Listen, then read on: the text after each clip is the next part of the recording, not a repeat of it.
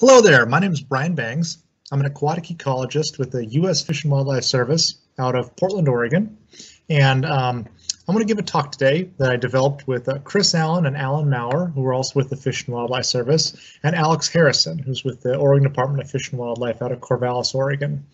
And uh, this is a presentation um, that's kind of summarizing uh, two years of, of monitoring results from uh, Borax Lake and also um, providing an update on the status of the species. The impetus behind this talk was in uh, June of 2020, the Borax Lake chub became the fourth fish ever to be recovered or delisted from the Endangered Species Act. So giving this talk as, as an update, but also as a bit of a celebration and uh, congratulations to our partners. And, and hopefully um, you all can celebrate with me the uh, uh successful recovery of uh, Borax Lake chub. And speaking of these partners, um, we worked very closely with uh, BLM, the Bureau of Land Management, uh, TNC, the Nature Conservancy, along with the Fish and Wildlife Service and ODFW to recover the species. And, and uh, these partners were um, essential and, and absolutely uh, incredibly hardworking, uh, meeting um, the recovery objectives for the species and, and helping us achieve uh, recovery of the Borax Lake chub, as I'll, as I'll go into in a couple minutes here. I also need to recognize um, Paul Scheerer, and, and for those of you who have been in the DFC community for a while, you may um, uh, may know Paul Scheerer very well, but uh, between 2005 and his retirement in 2017, Paul led the um, recovery of Borax Lake chub and the management and the research of the species um, uh, with and through ODFW. And uh, Paul introduced me to Borax Lake, and, and I absolutely fell in love with the location and um, a lot of his enthusiasm for the species and kind of rubbed off on me, and I, I hope I can share that with you guys. I also want to recognize uh, Jim Peterson. And uh, Jim's um, the leader of the USGS uh, Oregon Cooperative Fish and Wildlife Research Unit out of Oregon State University in Corvallis. And although Jim likes uh, Chinook, I'm going to replace it here with a uh, Borax Lake chub as it's uh, much more appropriate. Uh, Jim does a lot of statistical analysis um, for us um, on this project and, and, on a number of other projects and, and really helps um, kind of strengthen um, a lot of the research and science we're doing.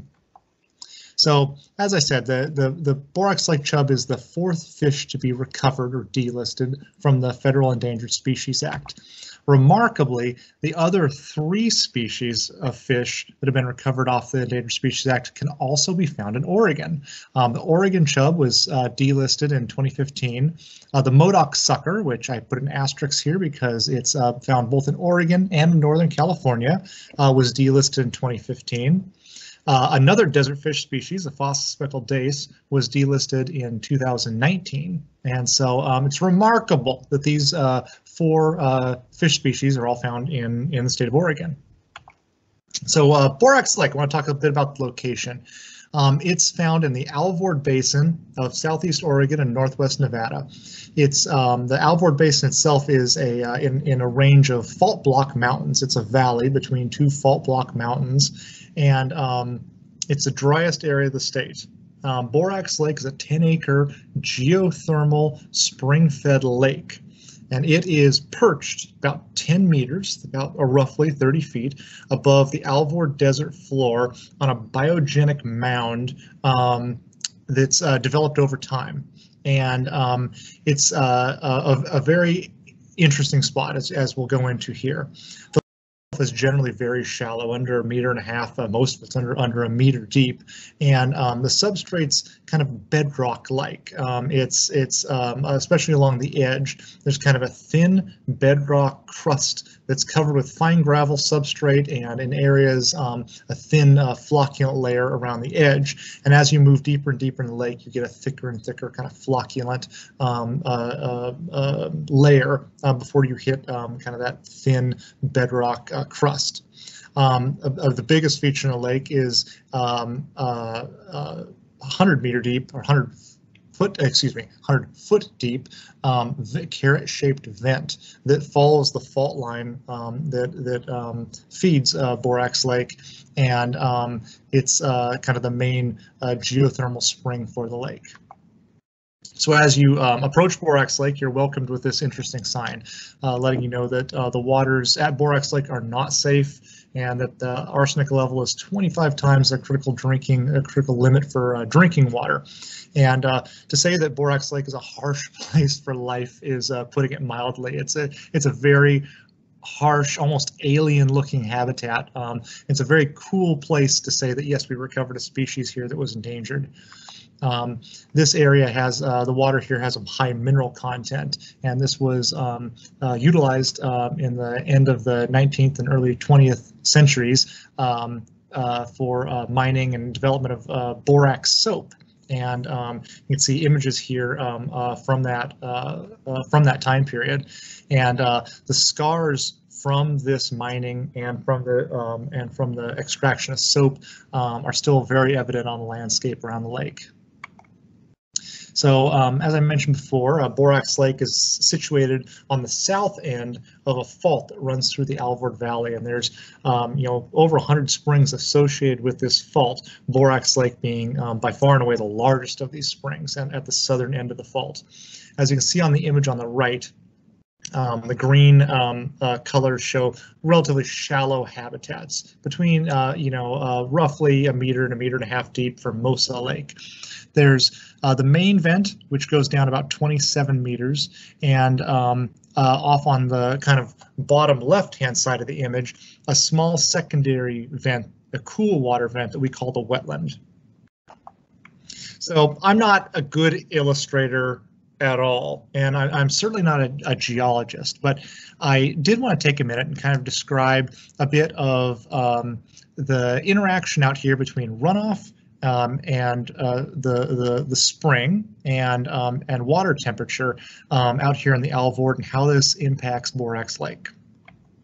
So there's several faults, and like I said, there's a fault block mountain, and so the Alvord Desert is kind of uh, sandwiched between the Trout Creek Mountains on the east and the Steens Mountains on the west, and there's a fault associated with each of these uh, with each of these mountains. In addition, in the center of the Alvord Desert, there's a field segment fault, uh, which is what um, which is what feeds Borax Lake.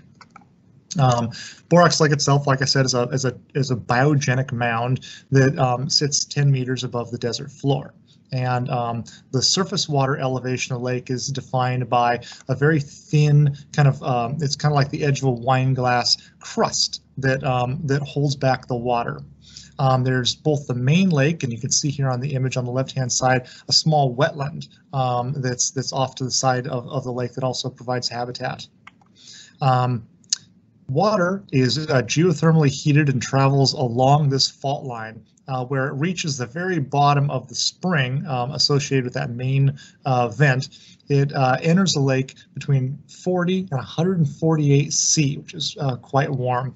By the time it reaches the shallow areas of the lake, um, this water cools significantly, and um, uh, the average lake temperature is around 20, 22 to 39 degrees C.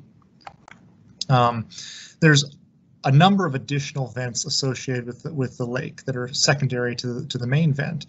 And um, the wetland is supported by one of these vents, and there's other warm water and cool water vents um, uh, around the lake. And um, the if it's a warm water vent or a cool water vent is oftentimes um, the path, the flow pathway that uh, water takes uh, to reach the surface. Um, if a longer period of time, oftentimes associated with cool water vent. In uh, 2015, um, the event that is associated with the wetland apparently cut off and um, the wetland desiccated in 2015, dried up. Um, this is unfortunate because it provided uh, a terrific habitat for Borax Lake chub, uh, but these vents kind of come and go around the lake um, uh, frequently. So I want to talk a bit about the, the seasonal nature of, of flow um, in, in the lake and also of, of temperature. So seasonally, there's runoff from the Steens Mountains and the Trout Creek Mountains that recharges groundwater in the Alvord Basin. This occurs, um, you know, in spring um, uh, uh, with that seasonal runoff. This, uh, when the groundwater gets recharged, the near surface groundwater gets recharged, it interacts with um, the vent temperatures, uh, or excuse me, water moving through the vent and cools this down quite a bit. It also increases flow into Borax Lake. There's increased flow and, and, and increased um, uh, lake elevation. Um, not It's not substantial, but a little bit into the lake. And we see that there's uh, more lateral flow through this biogenic mound um, uh, seasonally uh, uh um, as ground when groundwater is full. Want to describe briefly the habitat of Borax Lake. Um, this is uh, similar to the image that I showed earlier, however, it's kind of rotated 90 degrees. Uh, north is kind of pointed towards um, the right-hand side of the screen. Top side of the screen is um, west. And um, probably the main feature you can see out here in the lake is this deep geothermal vent. And that's a, a 27 meter deep vent. It's, it's kind of an eerie thing uh, when you're on a, in a boat out on the lake to be on top of. Um, there's uh, a number of other cool water vents both outside the lake and in the lake that you can see from the aerial imagery uh, pretty clearly. Um, there's this shallow rocky crust that's around the lake, but it's uh, exposed um, uh, kind of in a, in, a, in a, thin band along the edge.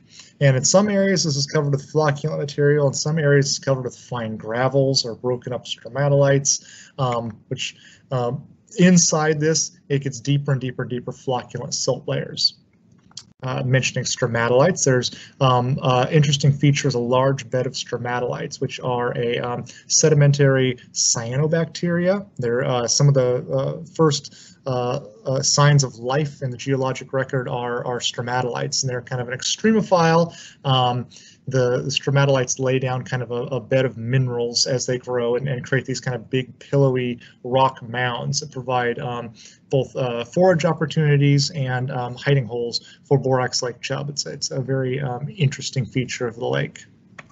There's also the outflow, a main outflow channel that provides um, habitat for borax lake chub, and these secondary outflows where the crust of the lake has been broken and um, you know water will flow out of that don't provide um, nearly the habitat as, as the main outflow. So um, I want to show off two of these features here. On the left um, uh, panel is uh, kind of an up-close picture of one of the stromatolites and um, kind of the pillowy nature of, of that kind of rock-like um, uh, feature. And on the, the right-hand panel is that kind of uh, shallow um, uh, edgewater bedrocky crust that um, is around the edge of the lake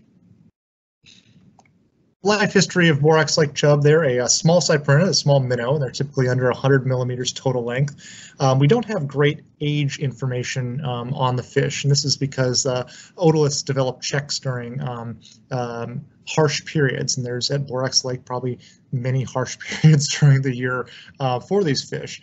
Um, we think they're probably likely short-lived, under two years uh, old, and they um, are likely able to spawn within their first year. In fact, it's been um, hypothesized they may be an annual species, or, or uh, the bulk of the population may be an annual species. They do have a protect, protected spawning period, um, both with peaks in the spring and in the fall. There's likely some limited spawning um, in the winter and uh, maybe in the summer, but but um, only under un, under ideal conditions. So um, uh, life history of the species. Um, they diverged from other tui chubs about 15 million years ago. Um, this was with the uh, geologic um, isolation of the Alvord Basin from the rest of the Great Basin.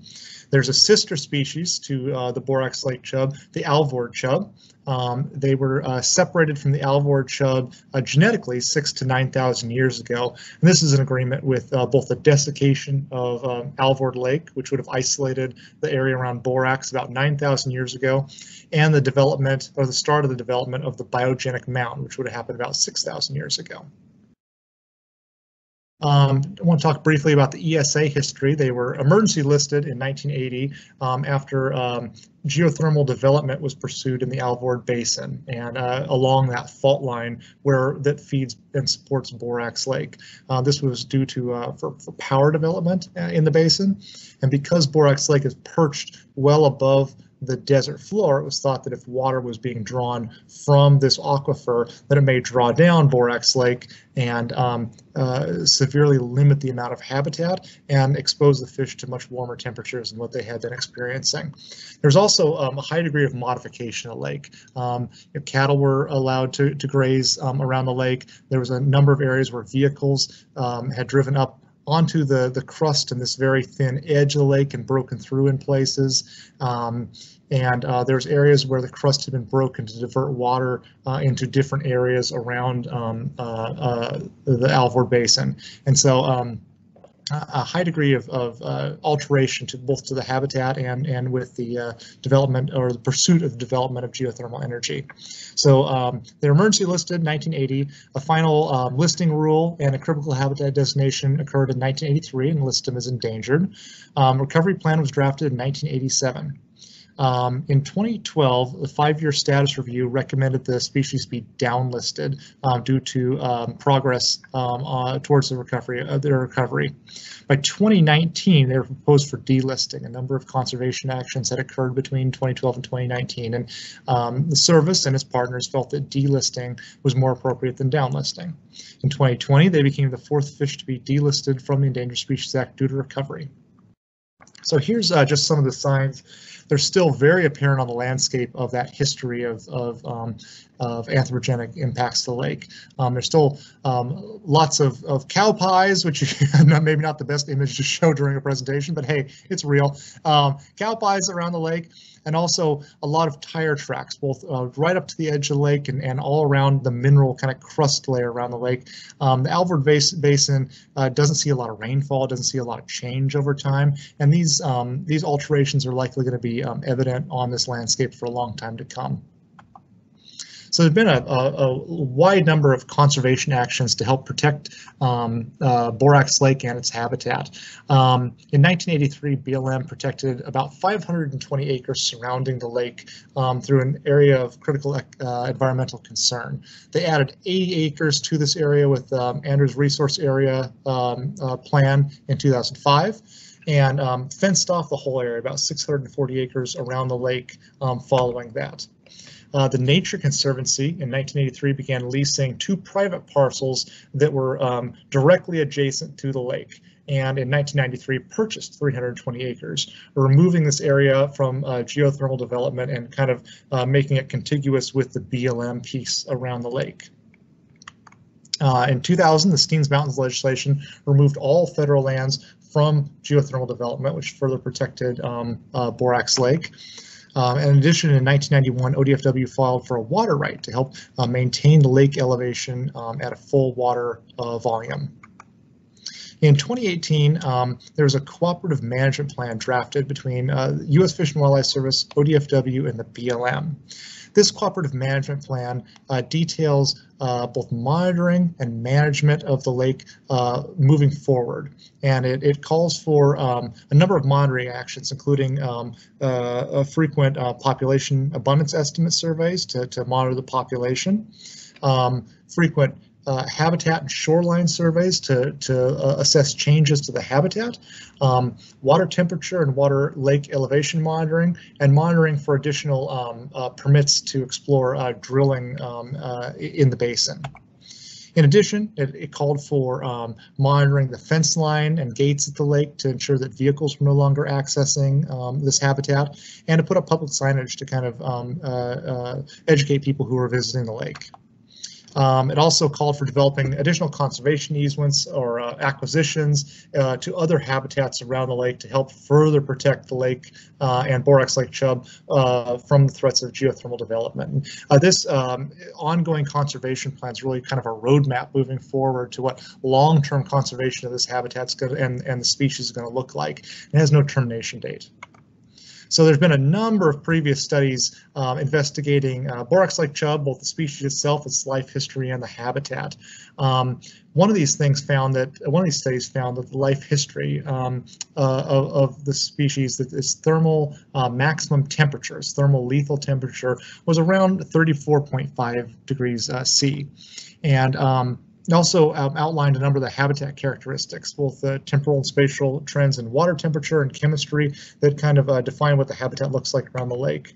Um, there's been um, also a, a, long history of population abundance monitoring to kind of see what uh, normal variation in population abundance looks like out of Borax Lake. Uh, since 2005, ODFW has run the um, uh, monitoring component um, of the lake. They've uh, done uh, population abundance estimates regularly, um, um almost annually. Um, uh, and and looked at both population abundance estimates and also um, uh, determined what size class structure uh, was like in the lake. Um, they monitored uh, water temperature at six locations around the lake, and um, since 2011 I've been monitoring the surface uh, elevation um, regularly at the lake. Um, they've been defining um, habitat conditions at photo points, and so be able to compare um, yearly uh, changes to the habitat with these photo points, and then um, reviewing uh, uh, drill permits as they come in, which is one of the actions outlined in the, in the Cooperative Management Plan, or CMP. Um, BLM um, has been uh, maintaining and monitoring the fence and the gate in cooperation with ODFW, Fish and Wildlife Service, and TNC as well. And we have not had vehicle access uh, to the lake in the past, excuse me, unauthorized vehicle access to the lake uh, in the in the past several years. This is Paul Scheerer uh, with ODF, uh, previously with ODFW, um, pulling a minnow trap uh, in Borax Lake. And most of the, the, the bulk of the uh, effort uh, required in monitor species has come from um, obtaining these population abundance estimates. And they're oftentimes um, uh, kind of time consuming and, and labor intensive, but they provide us really good information on, on Borax Lake chub. Um, we do these typically by setting somewhere in the order of about 12 dozen minnow traps in transects around the lake and also along the edge of these lake. These are kind of wire mesh minnow traps uh, baited with wheat bread. And um, then marking um, uh, fish, redistributing them around the lake um, uh, identifying size classes along with marking them, I should say, and then redistributing them around the lake and then looking for uh, basically obtaining a mark recapture estimate. Um, this is kind of an all hands on deck event. We have people from um, staff from BLM, Fish and Wildlife Service, and, and ODFW uh, in this image uh, uh, marking fish. And depending on the estimator type, we're oftentimes doing subsequent days of marking when we're out here um, um on the lake. And this was um, what the population abundance estimates look like for Borax Lake chub between uh, 1986 and uh, 2016. And uh, there was kind of three different periods of monitoring um, at, at Borax Lake uh, by different agencies. And each agency kind of did their own protocol for how they set traps and how they monitored the populations. So abundance estimates between these three periods aren't directly comparable, unfortunately, but it's the best data we have.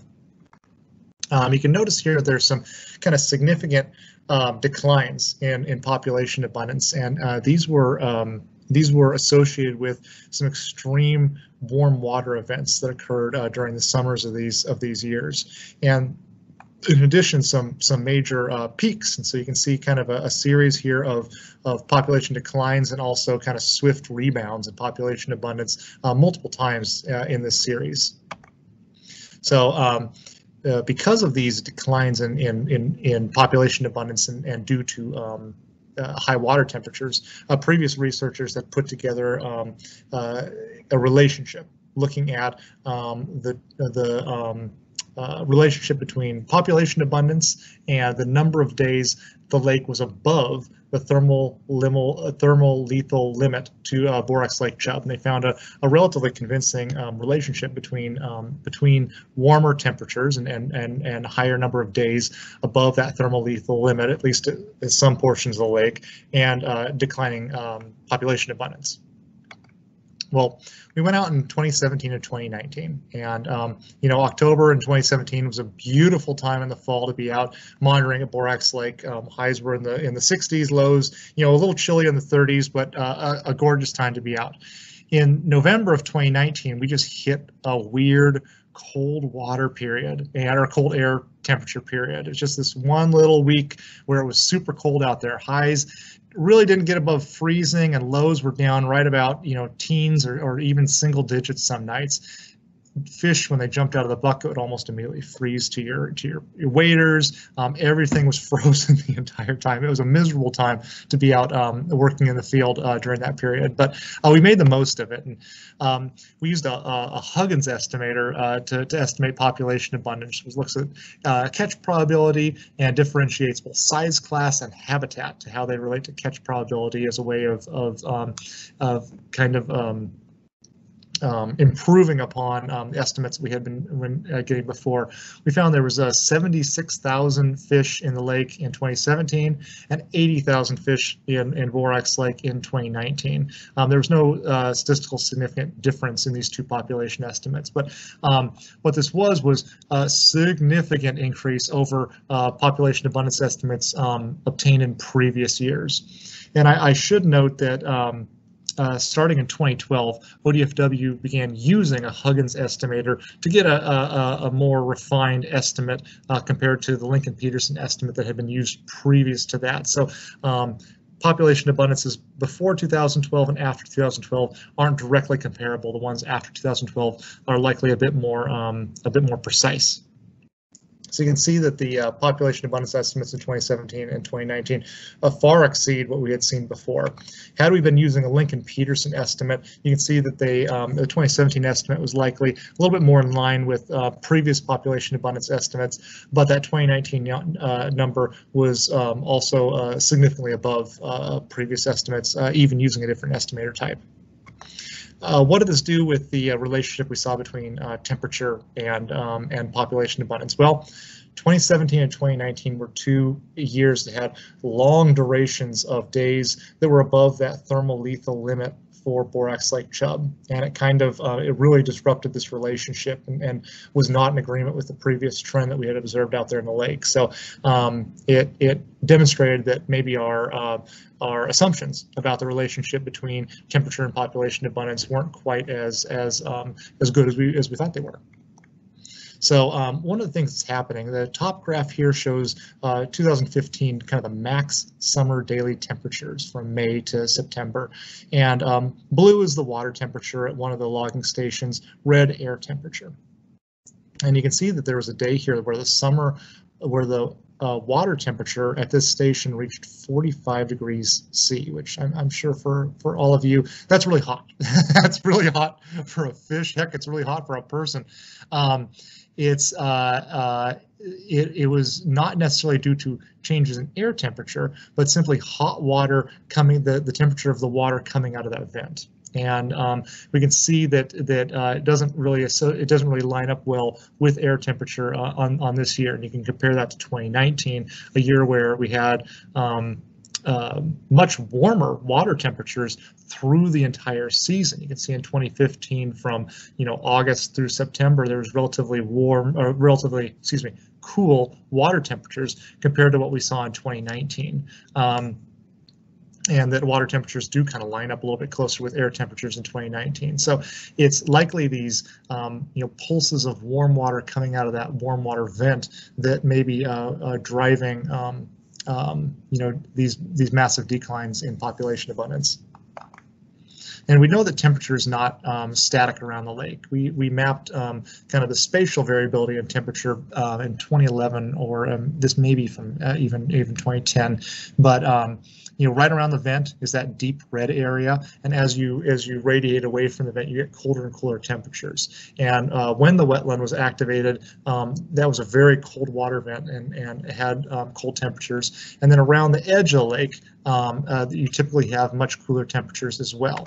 And um, there's a high amount of wind across the Alvord Valley. In fact, this area is uh, known for its what do they call it? Sail car races out on on the desert playa, and um, there's likely an interaction between air temperature and water temperature that may be driven by the wind and not mixing that's occurring at the surface. So um, what are we doing to conserve this environment? Well, primarily it's just to it's to, to protect the environment as it sits. There's, like I say, a thin kind of crust around the lake that helps support the uh, and, and, maintain that water elevation. And a lot of the actions we're doing here is to help support the, the water elevation and maintain this habitat as is. Um, you know, uh, however, the ODFW and the service and our partners are uh, investigating the feasibility of establishing a secondary population of borax lake chub in a, in a secondary location. And um, this may not be needed. It's not something that is required to um, to maintain the recovered status of the species, but it sure doesn't hurt either. It's something that that might um, help us should something dramatic happen at, at Borax Lake. Um, it might help to have not all of our eggs in one basket. Uh, moving forward, we're uh, working under a uh, post-delisting monitoring period. This is sort of the hand over the buzzer period to make sure that the decision to delist was correct and that um, the species doesn't decline again once the protections of the Endangered Species Act no longer apply. And this will go on for the next 10 years. Um, following that, it the, the management of the species will fall again under this cooperative management plan between BLM, the Fish and Wildlife Service, and ODFW. And this directs um, kind of actions, both monitoring and, and conservation actions of these partners to help ensure that we um, we can conserve this habitat and and um, and and um, maintain the recovered status of the species long term. This has no, it's ongoing. It has no end date. So um, this is kind of the part of the talk where I normally would ask for questions, but I'm going to leave my email address and um, I'm happy to uh, direct other questions uh, on to either the Regional Fish and Wildlife Service biologists or